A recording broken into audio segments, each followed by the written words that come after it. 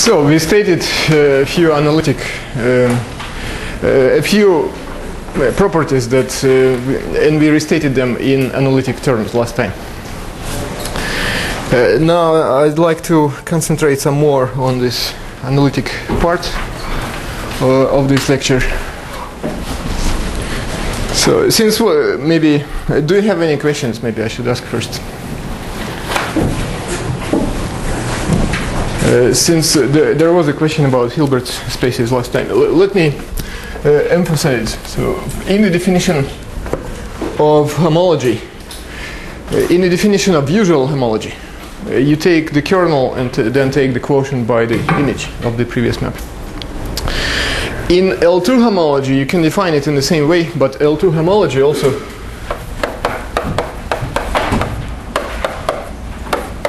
it's it's the same as the kernel of the i-dimensional of the i's uh, boundary map by the image of the i plus first um, boundary map. You can define it, we define it as a quotient, right? But this can also be represented as um, uh, both the image and the kernel, they are both subspaces in um, in the space of um, i-dimensional L2 summable chains. Both are subspaces. Uh, so the closure of this is a Hilbert space, uh, and this is also a kernel is always closed. This is a Hilbert space. So and um, uh, this uh, this Hilbert space is a subspace in here.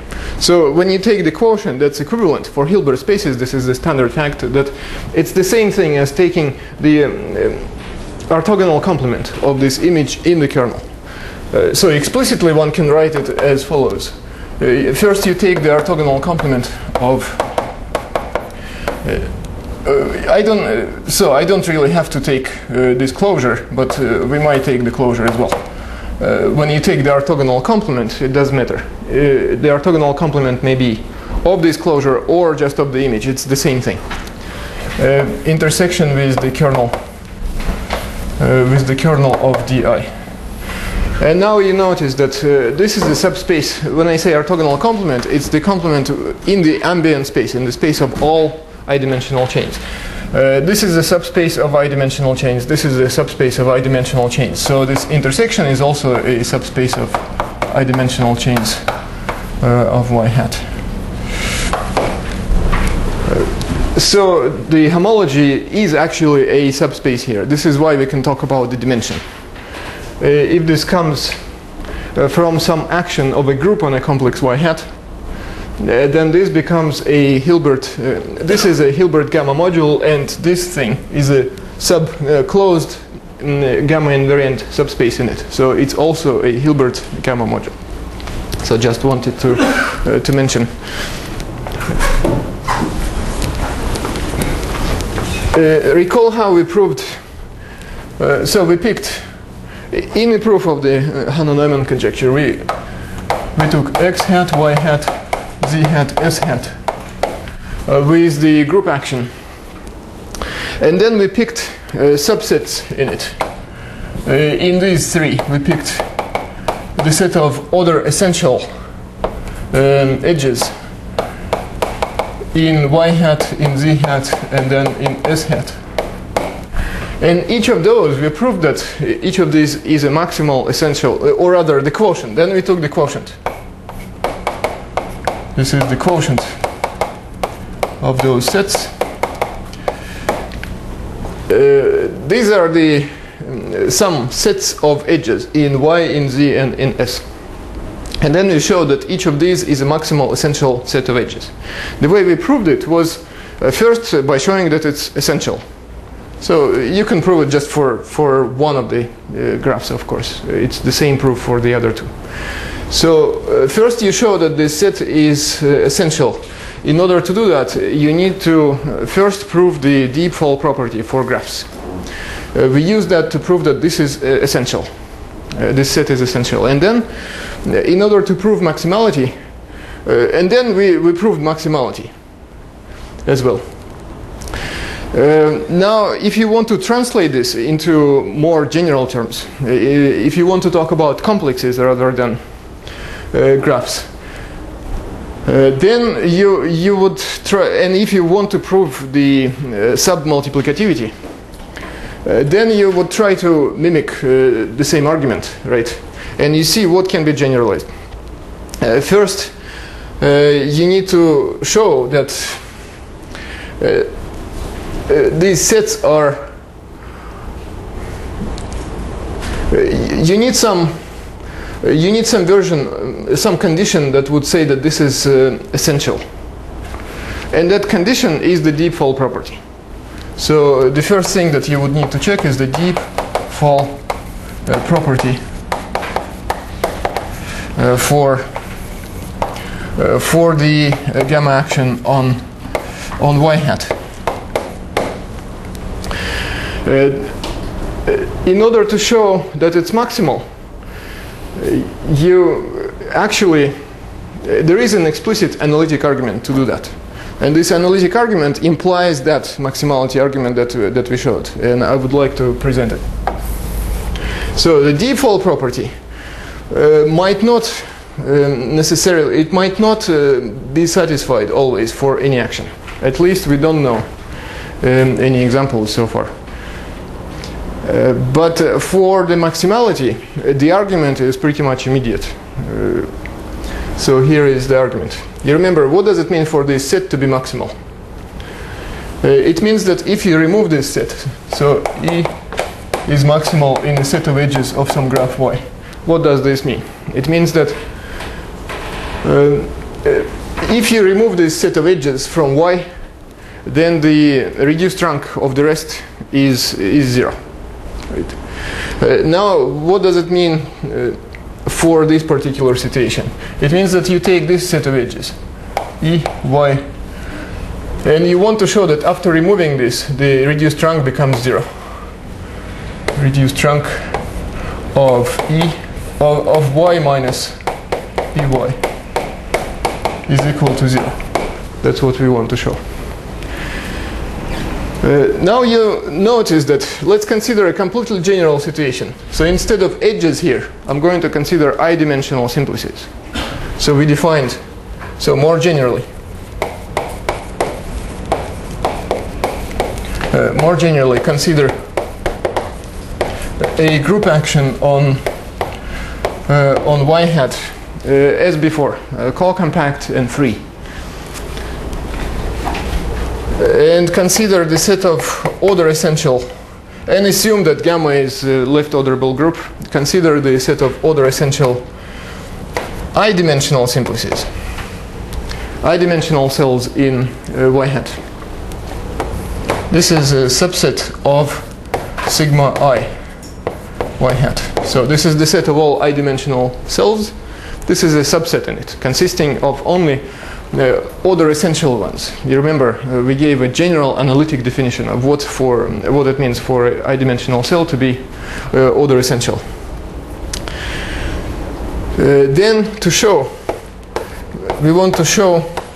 So what's the analog of this statement here? We show that the reduced rank for graphs is the same thing as the first L2 Betti number.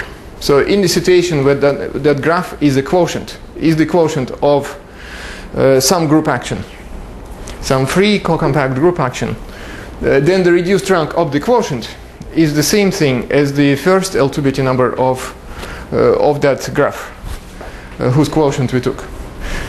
Uh, so in this situation, we can generalize from graphs to complexes. And the more general statement would be what's the reduced rank of, instead of the reduced rank, what's the uh, first L2 Betti number? Or if you want to talk about the dimension i, that would be the i-dimensional. And rather saying b, it's not really the L2 Betti number, but rather the dimension of the kernel that we are talking about. It's a uh, number i. So it's the number, the L2 number, uh, which is the dimension of the kernel. Uh, we want to show that that number of uh, y hat, uh, when we take y hat and remove all those order essential cells, we want to show that this is zero. Right? So this is a more general restatement of, of this. So let's see what the problem is. We have an action of the group on some cell complex. We consider the i-dimensional cells. We consider some order on the set of i-dimensional cells. And with respect to that order, we pick order essential cells in it. Then we remove all those. And the question is, after you remove, is it true that the number becomes zero? So let's see what the number is. Why is AI more natural than BI? Uh, because it makes the argument work. uh, in the case of graphs, it's the same thing, right? Because uh, the first homology is the same thing as just the kernel of the boundary map. Uh, but uh, just because this argument naturally works for AI. And what is it? Let's see. So in other words, we take uh, Ci of y hat and then the map to Ci minus 1 to uh, y hat. This is the boundary map. Right. Now, what is this? This is L2 of L2 of the set of i-dimensional cells. This is L2 of the set of i minus 1 dimensional cells. Uh, so these are several copies of gamma. Gamma cross some finite set. These are also gamma cross some finite set. Uh, now what is this set here? It's written right here and we have order essential cells in it. The complement of this set is the set of order inessential cells. So sigma i uh, y hat is the disjoint union of the essential um, i-dimensional cells and the other inessential i-dimensional cells. So this L2 now uh, uh, is split into two parts. We split the base of this Hilbert space. So this is the same thing as L2 of the order essential ones uh, plus L2 of the order inessential cells. And then we take the boundary map number i uh, to this space, uh, whatever it is. So let, let me just write it ci minus 1 to y hat. This is the boundary map. Now what is this number? We take y hat and we remove the order essential cells. It means that we just remove this part of this uh, sum. It means that we only restrict this boundary map to L2 of y hat ci minus 1. Right, it's the restriction. Uh, what is our goal? Our goal is to show that this number is zero. This number is by definition is the kernel of this uh, is the kernel of this map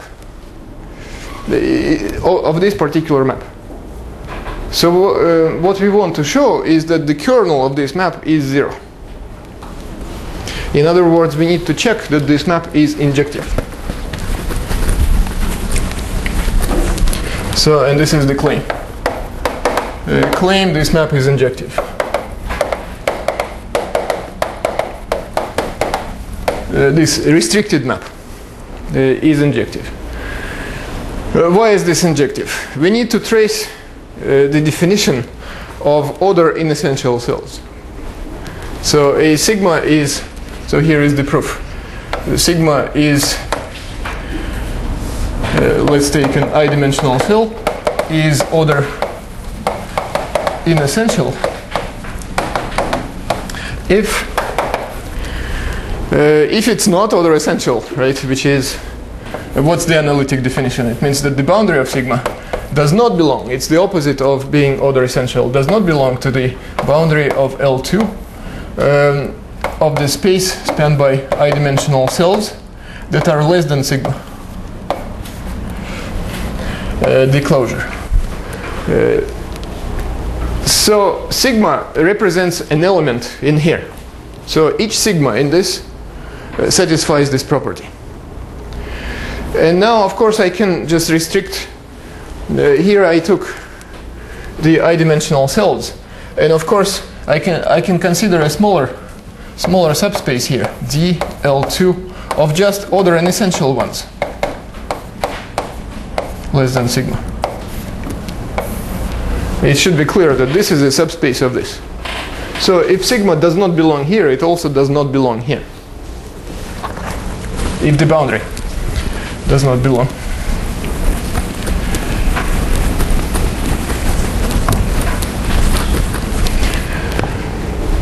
Uh, okay, so let's consider uh, let's consider uh, the strict inequality and the non-strict inequality. So let's take this set i-dimensional cells in y hat which are uh, less than or equal to sigma and also consider the set of order inessential cells which are strictly less than sigma. So the difference between these two, this is a set of um, cells. Uh, the difference between the two sets is just one cell. Uh, then we take L2 of that. So this is a Hilbert space now. And this is a Hilbert space. And the difference of dimensions of those Hilbert spaces is just one, exactly one. The dimensions are different by one. This is an infinite vector space, and this is also an in infinite dimensional vector space, and this is also infinite dimensional. But if I take um, like a basis, or or say you take the orthogonal complement, say, of this in this, then that orthogonal complement is one-dimensional vector space. But now we take uh, we want to take the boundary, uh, the boundary of this. Uh, now what can we say? Uh, we take the boundary and take uh, the closure.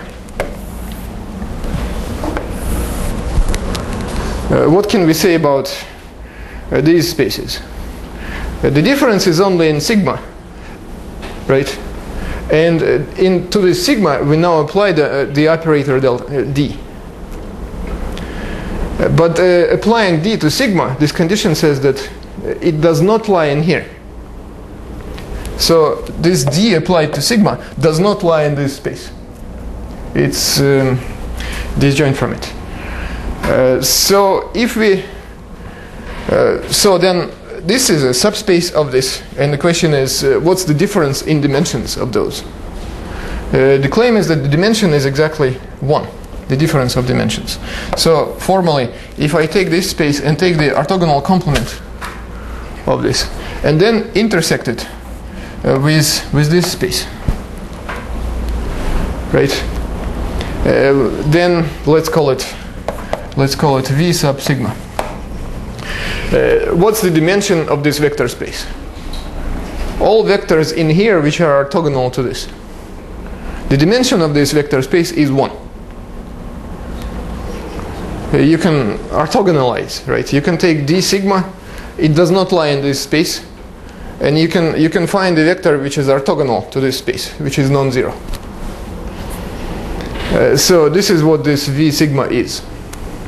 It's generated by that orthogonal vector. So when you say dimension, you mean gamma dimension? no just usual regular dimension over uh, since we are taking complex numbers here over complex numbers or real numbers you can take depending on what you mean by L2 here. So say if this is the That's set not- of functions Uh, this is not a gamma module. This set is not invariant under gamma. It's not a gamma module. I'm talking just about Hilbert spaces with no gamma module structure. Uh, so this is a vector space and the dimension so the dimension, the usual dimension over complex numbers, if you take complex numbers as coefficients um, of this V sigma is 1. So let, uh, let E sub sigma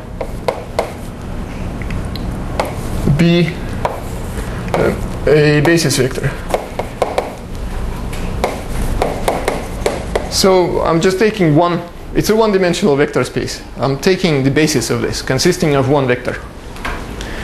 And we can choose also. So, okay, what happens if I now I introduce the group action? Uh, what if I took so take some uh, g in gamma.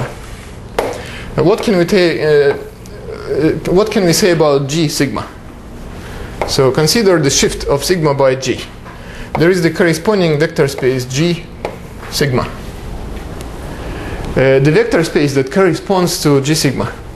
This is the same thing as first considering V sub G, uh, V sub uh, sigma, and then applying G to that. Because this definition is gamma invariant. Uh, this space is not invariant. But uh, I'm just uh, translating the whole definition. In this definition, I replace sigma with G sigma everywhere.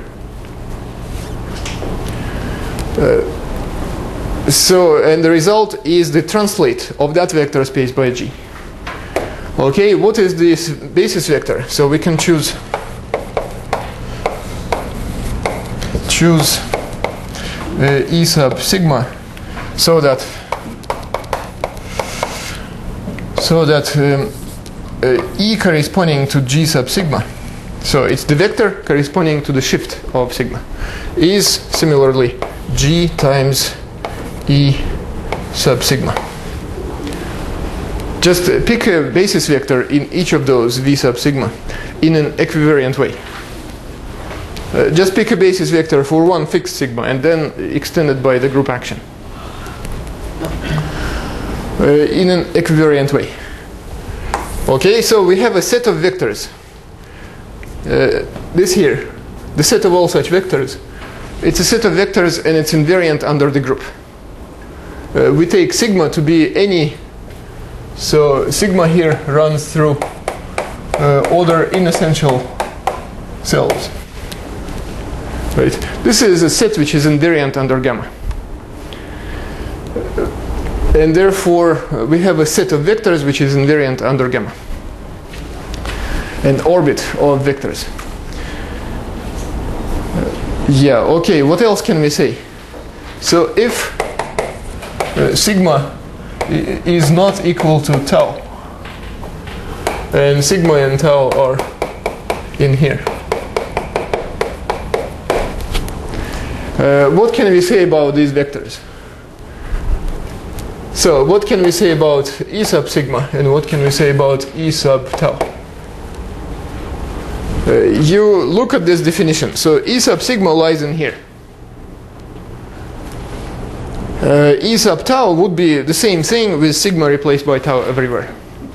But the point is that uh, since they are not equal, one of them, we have an ordering one of them should be bigger than the other.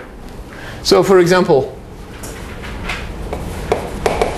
uh, for example, sigma is less than tau. If sigma is less than tau, then what can we say? So you write this definition for sigma and then you write the same definition for tau. Yeah. By the way, does the G action really commute with boundary map? Yeah. Uh, so the G action, yeah, I should have said yeah. Uh, the G action commutes with the boundary map. Uh, that's I mean, you need to write explicitly the definition of the boundary map. So to each like in dimension two, say you have two-dimensional cell, and what does the boundary map do? It replaces this two-dimensional cell with a linear combination of one-dimensional cells, which form the boundary of that. Right. But now, if you translate this two-dimensional cell by some element, and then take the boundary, it's the same thing as taking first the boundary and then translating by some element, by the same element of the group. Right? It pretty much follows from the definition. Yeah. Uh, the group commutes with the boundary map. Yeah. So if sigma is less than tau, so let's try this. Maybe maybe it's a good exercise, uh, good physical exercise to, to write this. Uh, I Uh, the orthogonal complement. So this is for sigma intersection with dl2 orthogonal complement less than or equal than sigma. Uh, this is where tau, uh, this is where sigma lives. Uh, e sub sigma lives. Uh, and tau lives in the same thing, L2, but replaced by tau. Tau.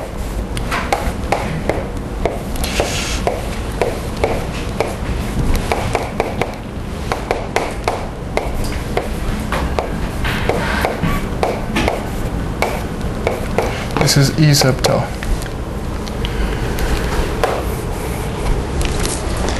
Uh, yeah, and sigma is uh, sigma is less than tau. See, tau is bigger than sigma. Uh, si- since sigma is less than tau, then what? Consider this space. Uh, this space lies in this space. Since because because this set here is bigger than this set by by our assumption. So this is a subspace of this space. Uh, and um, E sub sigma lies in here. Uh, E sub sigma lies in here, but E sub tau lies in, in the orthogonal complement to this. So that means that what's the conclusion here? The conclusion is that these two vectors are orthogonal to each other. Of course, if tau is less than sigma, then exactly the same symmetric argument applies that uh, they are orthogonal. So if sigma and tau are two different elements of the set, then they are the corresponding vectors that we obtain by orthogonalizing. Is uh, uh, those vectors are orthogonal. And of course, I'm taking the unit vector. This is uh, supposed to be of unit length. So what does it say? It says that E sub sigma, sigma uh, for sigma in I uh, is is an orthonormal basis, or rather, uh, it's a, at least it's an orthonormal set, right? It's an ortho orthonormal set. Set in in where? Uh, in in the space spanned by so in L2 of the i-dimensional uh, order essential cells. So what does it tell us?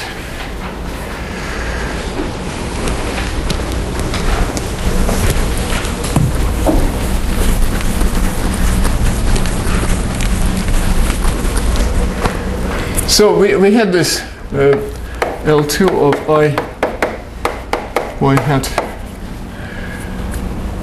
Uh, so let me consider the uh, the- boundary of let's see uh, the, the boundary map of L2 of I y hat. So we, we had this map first.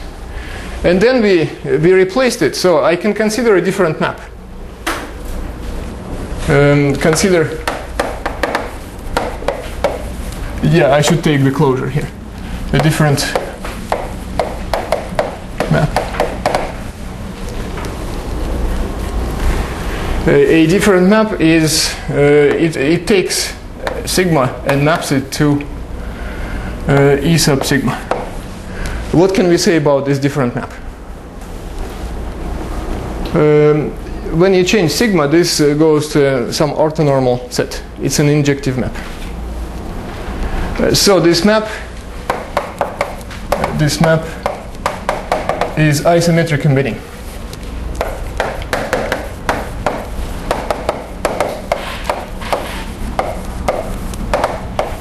Uh, isometric embedding of this into this. Uh, yeah, so what does it tell us about the original map, D?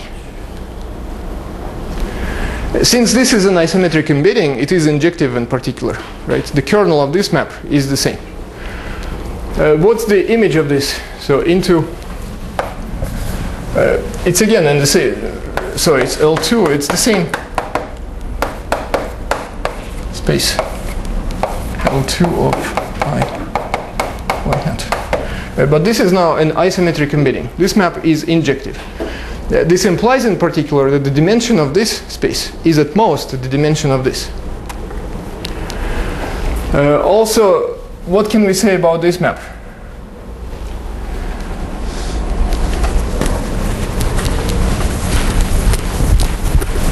So this implies that uh, dimension of L2 of I y hat is at most over gamma is at most the dimension over gamma of L2 of of the boundary of the boundary of the same thing. L2 I y hat. Okay. Uh, but what's the goal? We want to show that this map is injective. In order to show that this is injective, it suffices to show that it suffices to show the opposite inclusion, we, uh, the opposite inequality. If we check that the dimension of this is at most the dimension of this, then we will be done. This map is, uh, so let's see. Um,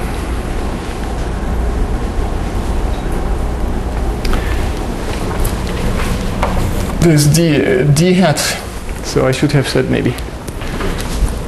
Let's make a little change here. So let's take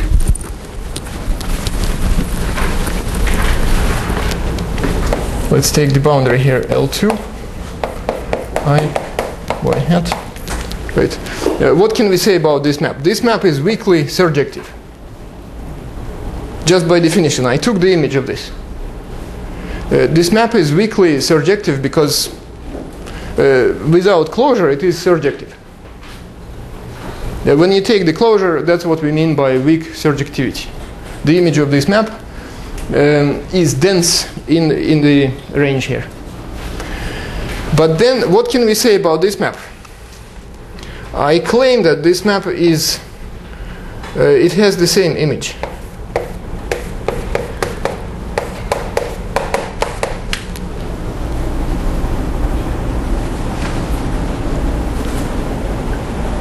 Why is that? Because what's the difference? The difference is in order essential cells. So uh, I'm claiming here that the image of this map lies in the image of this map. Uh, why is this? Because any, because for any sigma in order essential high dimensional cells. What's the definition of, uh, of essential? It means that the boundary of sigma lies in the boundary of L2 of the smaller cells. Sigma i. y hat less than sigma of the boundary. And uh, then we can apply the, let's see, yeah, I'm using here, uh, I'm using the deep fall property. This lies in where?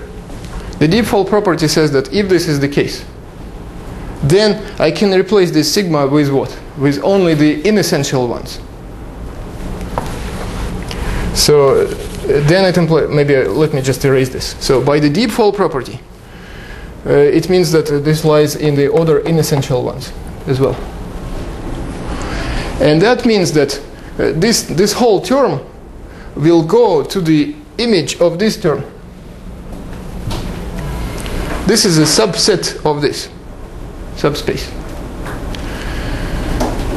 Uh, this implies that. So what all I wanted to say is that uh, this implies that this map is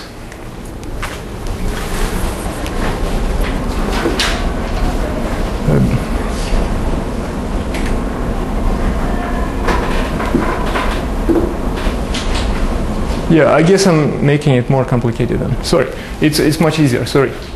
Yeah, all we need to show that the dimension of this is smaller than the dimension of this. And this map is obviously weakly surjective. Yeah, I didn't need, sorry, I didn't need that argument. Uh, we will need it later on, that's why I'm confused. So we show that uh, the dimension of this is at most the dimension of this, because we provided an injective map. Uh, and the converse follows from here. This is a weakly surjective map. The dimension of gamma dl2 of y hat boundary is at most. So it's the opposite inequality.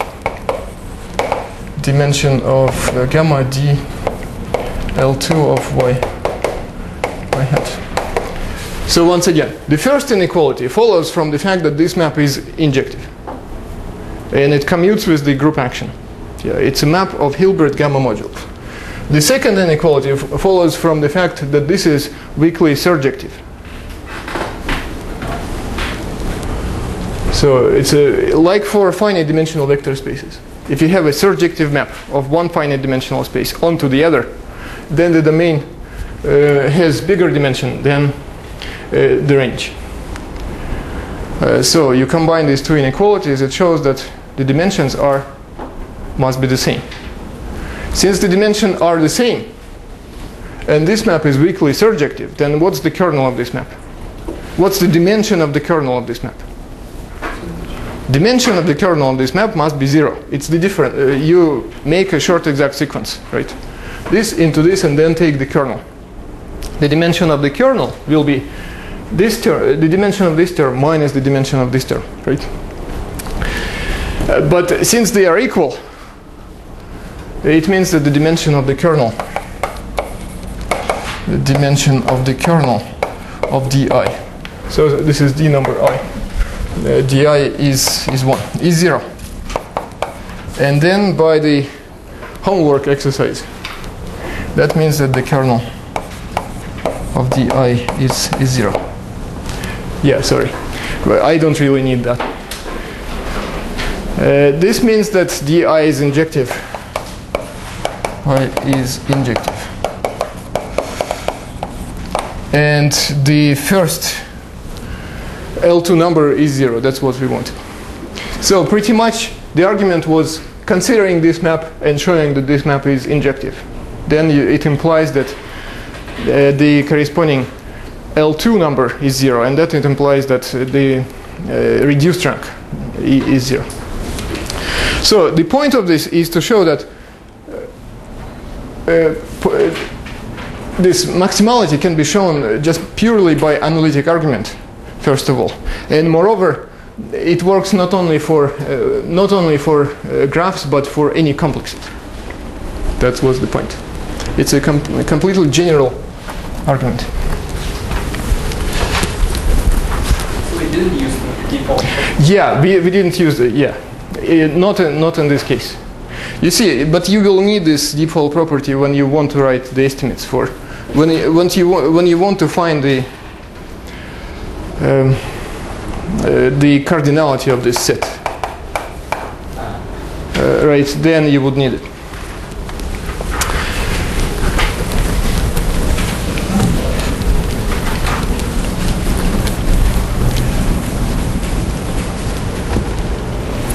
Uh, let's see. Do we actually need it? Yeah, we don't need. We don't use that property here.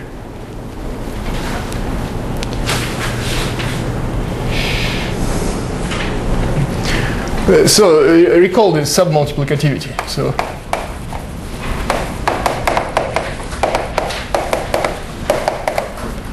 uh, formally it can be stated using a category. Right. We talked about leafages.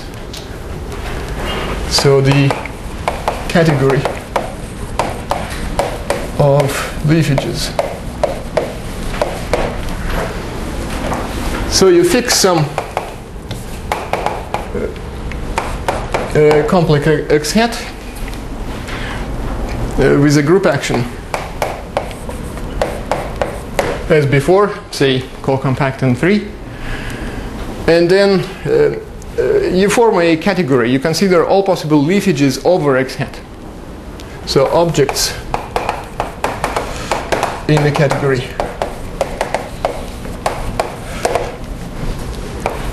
Leafages y hat over x hat. Uh, and you require them gamma invariant, gamma equivariant.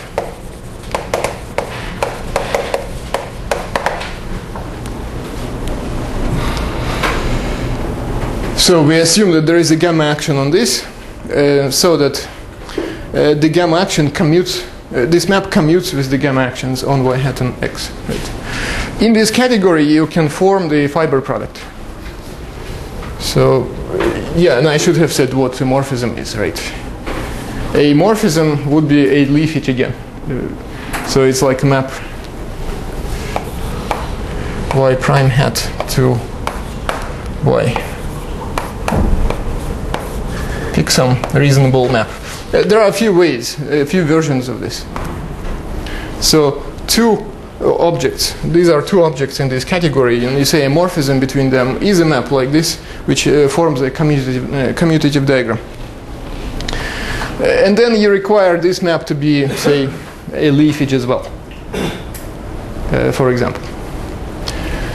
And then you put an order, you order order the i-dimensional cells in x hat.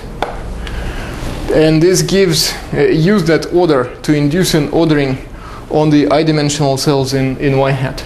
The, in other words, uh, you can require those objects to preserve the order uh, on each component.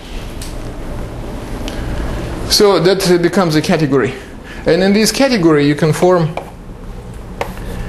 um, uh, fiber products if you have two maps.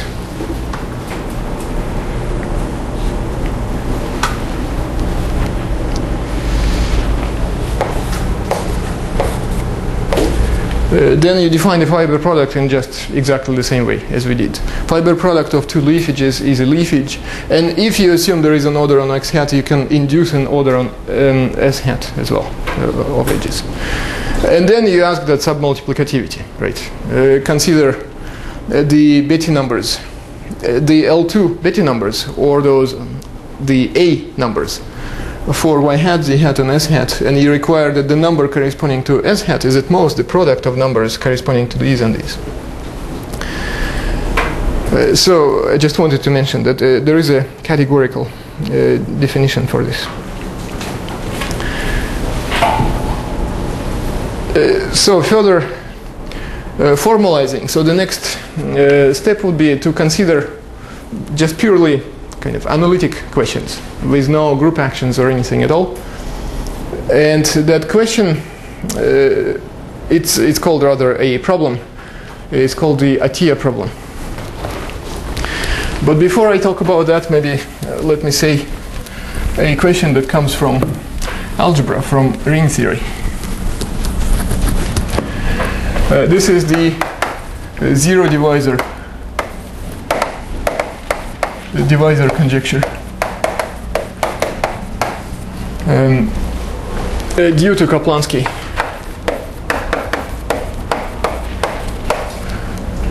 Uh, it was uh, officially it was uh, posed 1956 1957 which are the same years as uh, when Hanna Neumann uh, wrote her papers so uh, there is one paper by Hanna Neumann in 1956 and then another short addition to it in 1957. Uh, this question was also raised by Kaplansky at some conference on 19, in 1957 and it was published in 1956 in exactly those two years.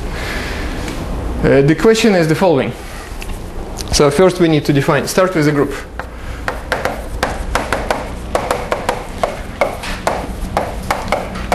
Group uh, gamma we need to define what is called a group ring. So pick some coefficients. We have a choice of coefficients. Say, uh, pick some ring, uh, like integers.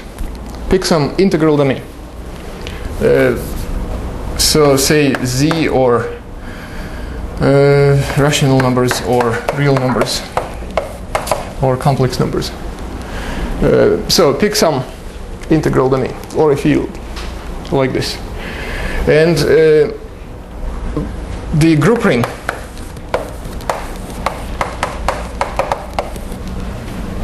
z gamma. So let me write the definition for z, but the same definition can be done for any of these. So the group ring,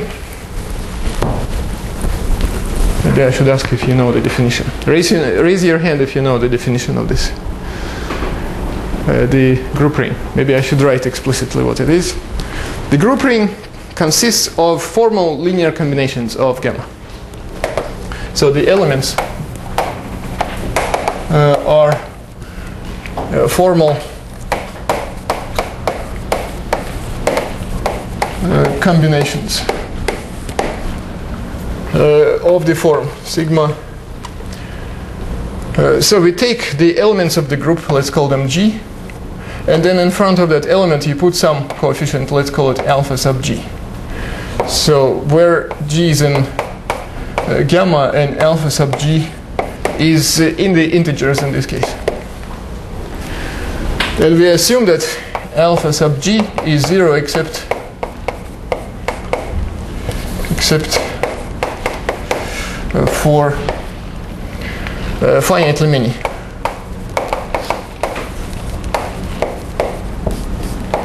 Many g in, g in gamma.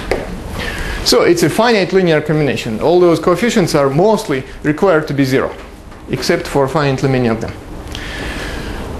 Uh, so the group ring consists of all such formal linear combinations, and then we add them alpha g g plus sigma beta g g.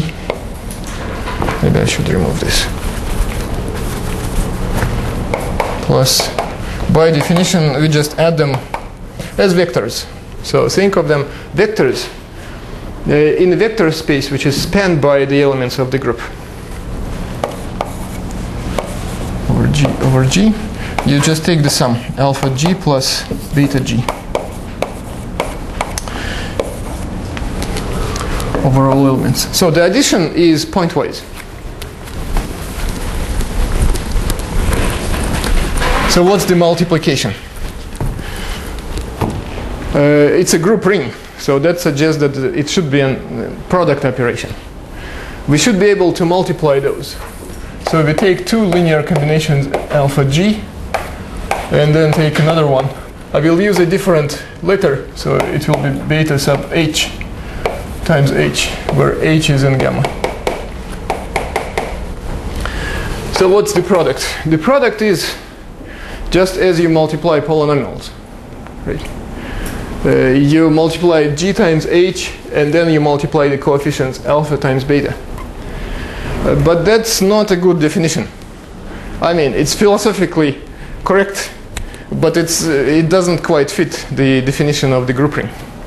The reason is that uh, this g times h might be also equal some kind of g prime times h prime. The product of these two elements might be equal to the product of some other two elements. So uh, we will have a linear combination which is redundant. Uh, what we need, we need to collect like terms after that. So yes, you multiply it out and write it as a kind of double linear combination. But after that, you need to collect uh, like terms. So what's the uh, what's the result? After you collect uh, like terms, what will we get? Uh, let's say k belongs to gamma times times k. Right. I want to put a coefficient in front of k, and that's going to be an expression in terms of this. After you collect like terms, what are those?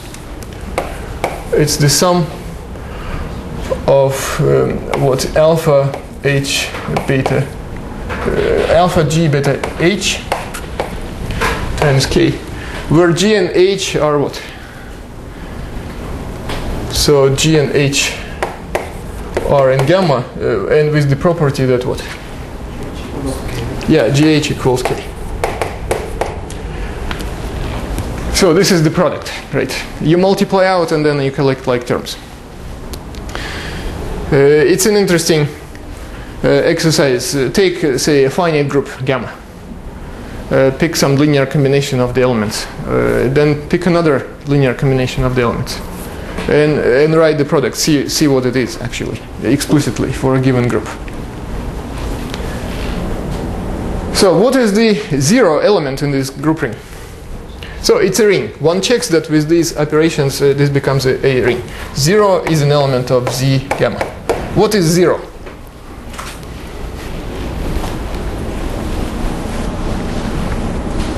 What does zero mean? Uh, what's that? Yeah, every coefficient uh, must be zero. It's the linear combination corresponding to the uh, zero linear, uh, which is the zero linear combination. It's the linear combination with zero coefficients everywhere. Uh, can it happen that I take one linear combination, then take another linear combination, then multiply them. Can it happen that you get zero as a result? And this is what the zero divisor conjecture of Kaplansky is. So zero divisors are elements elements alpha and beta uh, of the group ring. Zero divisors in this group ring are some elements whose product is zero.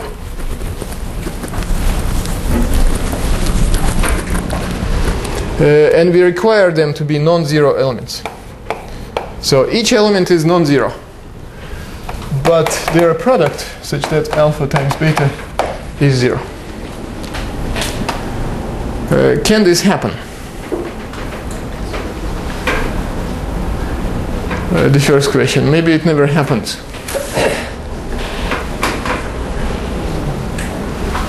So I haven't stated the conjecture yet, right? I'm trying to lead to it first.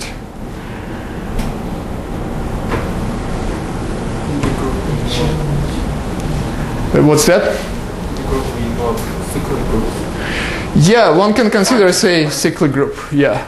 Let's take, say, Z, Z5. So that's the group consisting of 0, 1, 2, 3, 4. The, the cyclic group of five elements. Uh, okay. But I want to write this. Since we use multiplicative notation here, you see, uh, we wrote uh, we wrote g times g times h here. I used multiplicative notation, so I better use multiplicative notation for that group. This is uh, the same as saying t, uh, where t to the fifth power is equal to 1. So uh, I'm going to write the same operation multiplicatively. Okay, so what? What does it have to do with zero divisors?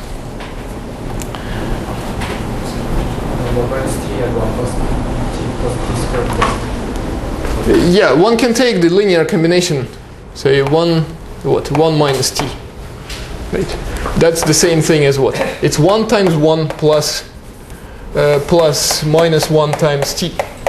That, that's, it's a linear combination of uh, the element one of the group and the element t of the group with coefficients one and minus one. And then one can take one plus t plus t squared plus t cubed plus t to the fourth. Again, this is a linear combination of the elements 1 t t squared with coefficient 1 everywhere. And then take the product. So 1 minus t, 1 plus t plus t squared plus t cubed plus t to the fourth. So what's the result? If you multiply by 1, it's this expression. If you multiply by minus t, it will be the same expression because t fourth multiplied by t, it will be 1. So you just cyclically, multiplying by t just cyclically permutes those terms. But uh, if it comes with minus sign, it will be exactly the same linear combination with the opposite sign. When you collect like terms, you will get zero. Uh, so in Z5, in Z, Z5, let me write it this way. It's the group ring of Z5, of the multiplicative group Z5 with coefficients in Z. Uh, this has zero divisors.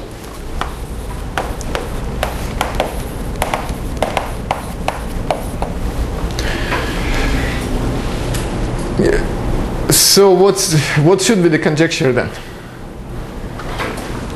Uh, let me uh, write it here. So the conjecture says that unless this is the case, in other cases there should be no zero divisors at all. So that means that if if gamma is torsion free, then uh, z gamma, z gamma or um, q gamma, r gamma, c gamma. There are various versions of it, depending on what coefficients you pick. The original conjecture was stated for fields, so you can put any field here. Again, has no no zero divisors. And it has been open ever since. It's still uh, an open question.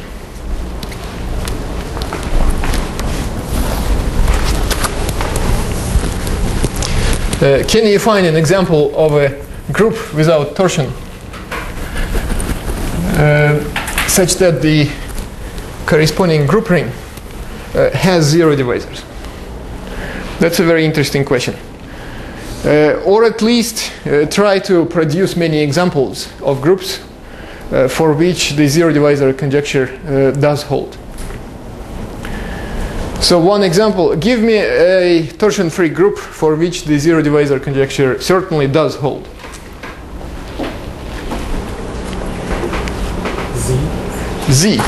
Z is the easiest uh, non-finite, uh, non infinite uh, torsion-free group. So Z satisfies satisfies the zero divisors conjecture. Okay, this requires a proof. So we take this to be gamma, right? Uh, I will denote this gamma so that we don't confuse two z's. So consider z gamma. So z is here, it's a ring, and this gamma is the group isomorphic to z, multiplicative group. So what is z gamma? How can you visualize this? You take uh, the set of all elements in gamma. Those are integer numbers. 0, 1, 2, and so on. And then you pick two elements, um, alpha and beta, in Z gamma. What are those elements? Uh, alpha is a linear combination of group elements. So you can think of this being a function on, on here. So if, if alpha is the sum of alpha sub g, g so G is in gamma. Uh, then you can think of this uh, as a function, if you like, to each to each group element G, you associate alpha sub G. It's a function from the group to the coefficients. Um, so to visualize this, you take any element of the group and just assign, you draw the graph of this. Uh, you assign a number. The value at this point is this, the value at this point is this, and so on. And you consider only those points for which alpha sub g is non-zero. In other words, consider the support, the support of alpha and support support of beta.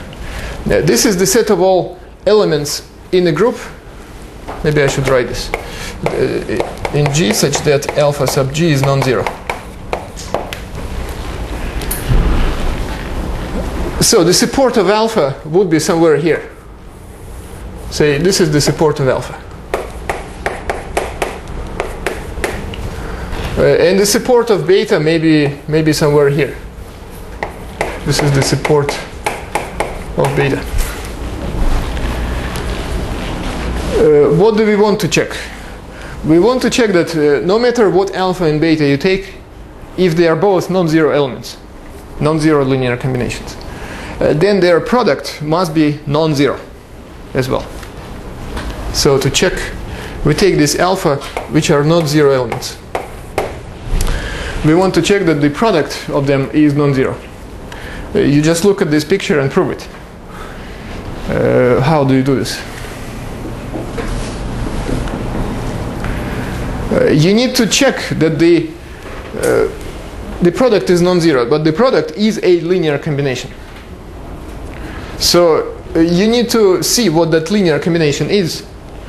And then uh, to convince yourself that uh, there is at least one element of the group which comes with a non-zero coefficient in this uh, linear combination. Uh, you just need to explicitly provide that element. Uh, all those elements are of the form, you remember, k is equal to g times h, right? all those elements in the support of the product, uh, they are products of the elements in here. Uh, so you just need to provide G and H. Uh, you need to find some K for which the coefficient at that K is non-zero in the product. So what's the, you just look at the picture. Where, where is that element? largest? Yeah, you can take the largest, say the support. You take the support of alpha. This is the largest point in uh, the rightmost point uh, in the support. And in the support of beta also you pick the the rightmost uh, point. And call this call this G prime and call this H prime. Those are the maximal uh, points in the support of Z. Uh, then uh, consider this K prime which is G prime times H prime. Okay, we claim that what's the coefficient? Uh, the coefficient in front of uh, coefficient in in the product in alpha beta um, at at this g uh, at this k prime. Uh, what is this coefficient? Is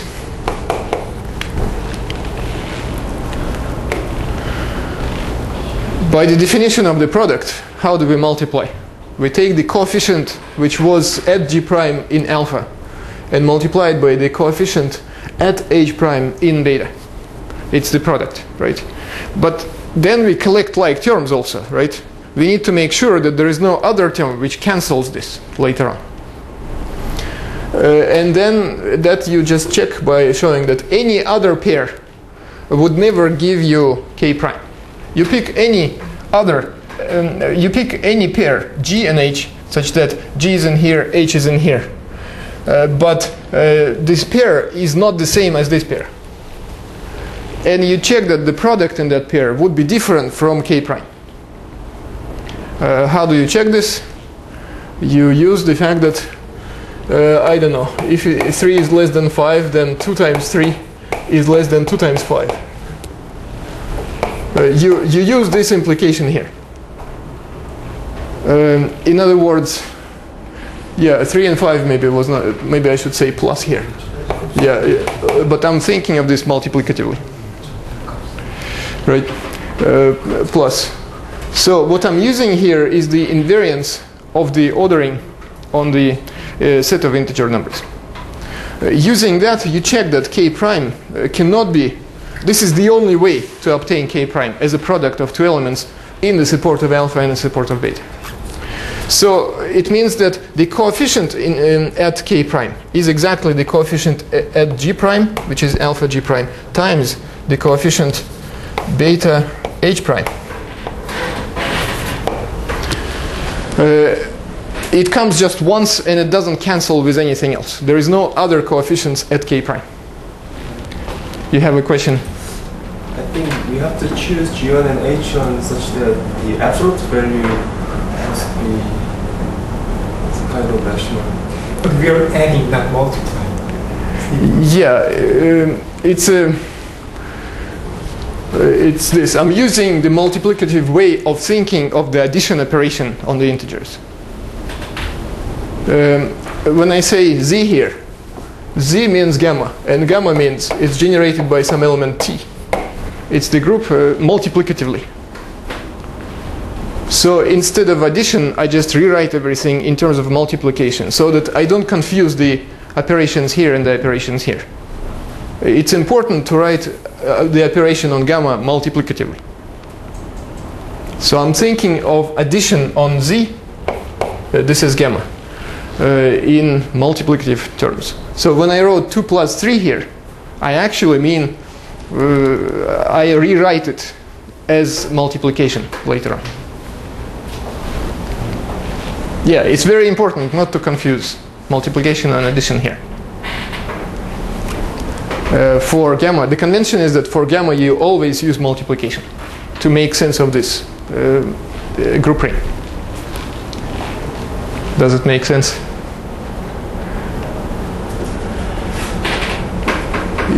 Yeah, so uh, the coefficient in alpha beta is this. But what can we say about this coefficient? It's a product of two numbers. What are those numbers? This alpha sub g prime. It's the coefficient of this term, but this term is in the support. Uh, it means that alpha is a non-zero uh, element. The same thing for this. Beta of h prime is also non-zero element of the ring, of the ring Z. Uh, and what do we know about the ring Z? If you take two non-zero numbers and now multiply them, actually multiply uh, numbers uh, in the ring, uh, then this is non-zero. Uh, this proves that uh, this proves that the product of alpha and beta is non-zero.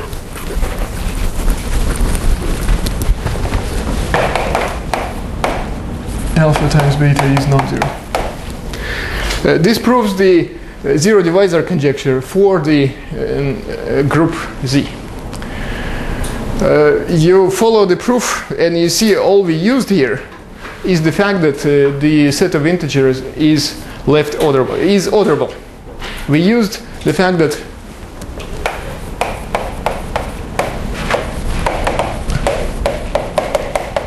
that Z is bi-orderable.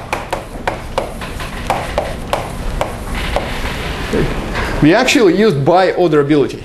It's a commutative group, so it doesn't really matter multiply on the left or multiply, uh, like add on the left or add on the right, um, the integer numbers.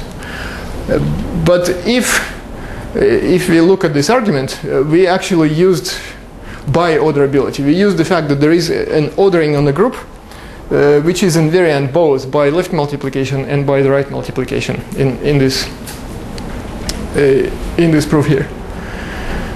So the uh, claim or the theorem, uh, the more general statement is that any uh, left orderable uh, left orderable group uh, satisfies uh, the zero divisor conjecture.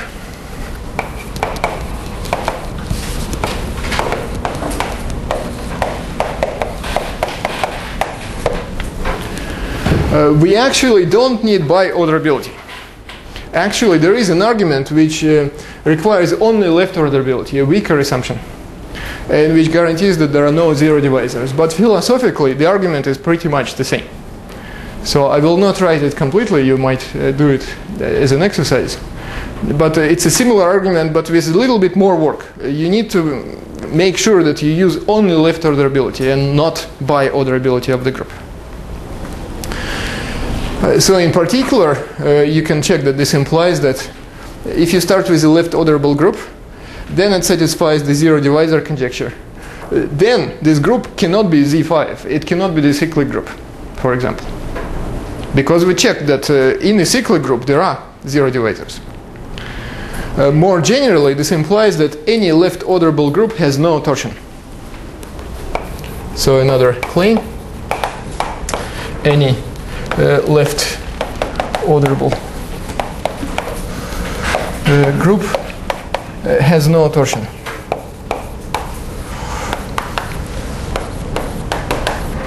Uh, it's, it follows from this, but uh, one can certainly prove this directly, actually.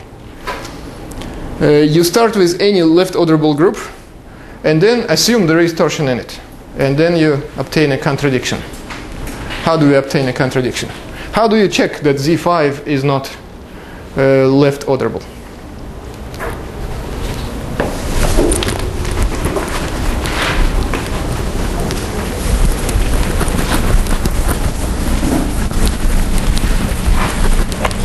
So example Z5 is not left orderable.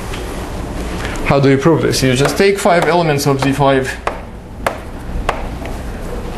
uh, write them multiplicatively. 1 t, t squared, t cubed, t to the fourth.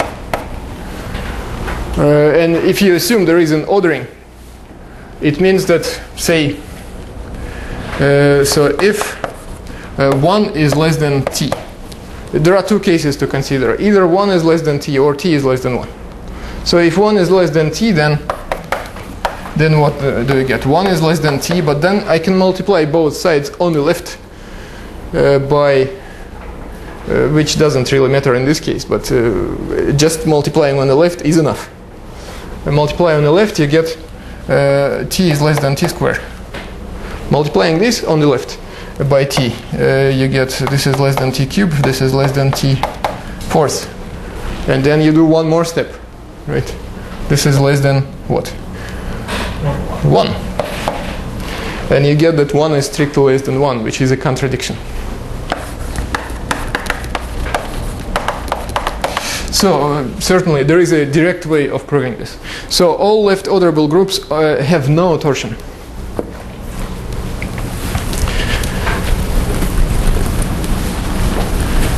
Uh, they do satisfy the zero divisor conjecture. Uh, let's restate slightly the zero divisor. Restate the uh, zero divisor. Uh, it says the following start with a group, uh, consider the group ring, and consider the product operation.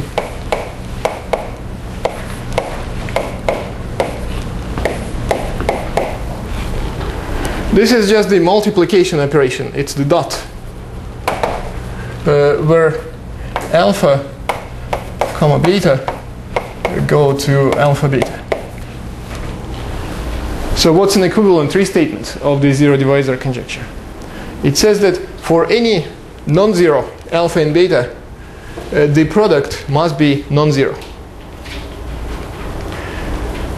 Uh, that means that if I fix, say, uh, an equivalent way of saying this uh, would be if I fix, say, beta and consider all possible alpha, uh, consider the restricted version of this z gamma uh, to z gamma it's the operation of multiplying by beta. You fix some beta.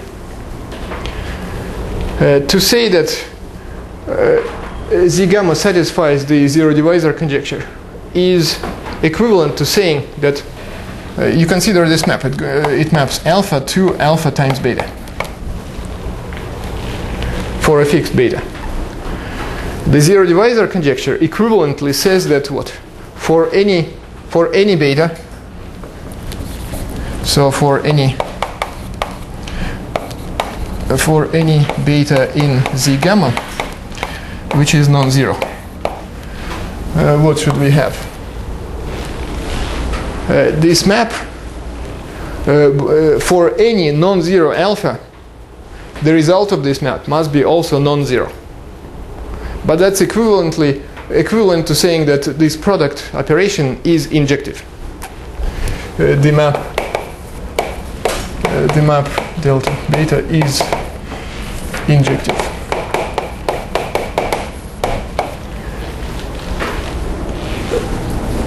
So it's an injectivity of certain multiplication function. Uh, instead of z, of course, we can consider uh, rational numbers or real numbers or say complex numbers. Uh, a parallel restatement a parallel version of the zero divisor conjecture would be the one with coefficients in complex numbers. C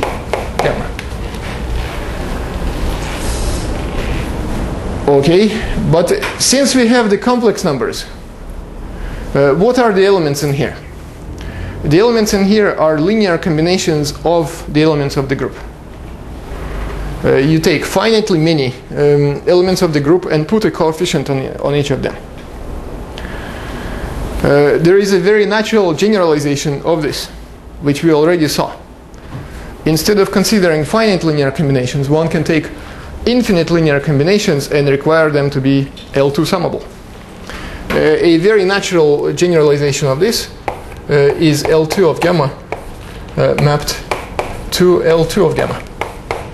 Uh, by some beta, where beta is again in uh, in say in a uh, group ring over complex numbers.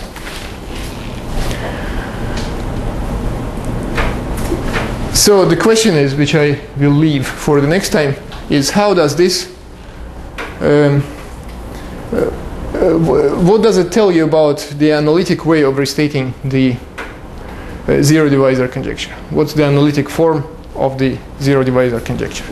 And that is what is called the Atiyah problem, and I will talk about it next time.